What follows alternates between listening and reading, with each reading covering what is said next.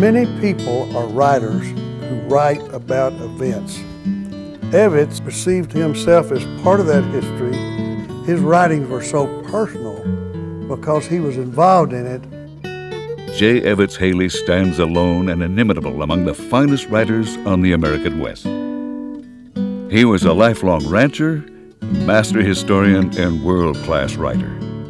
In 20 books and hundreds of articles and essays, J. Evetts Haley captured the soul, spirit, and beauty of the ephemeral frontier.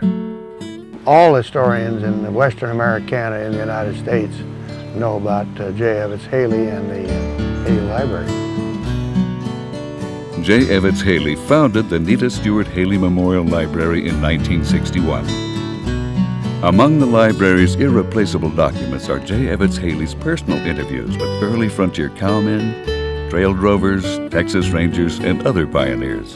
The resulting collection preserves some 700 interviews, representing unique, first-hand accounts of life in the frontier West.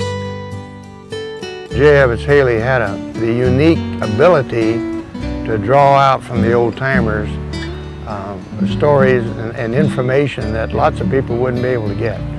He knew the country, he knew cattle, he knew horses, and he knew cowboys, and, and he knew what they thought, and was able to ask the right questions and able to get answers, which the ordinary historian would not necessarily be able to do. Key among these are interviews with legendary Texas rancher and trailblazer Charles Goodnight. Haley interviewed Goodnight many times over an 11 year period.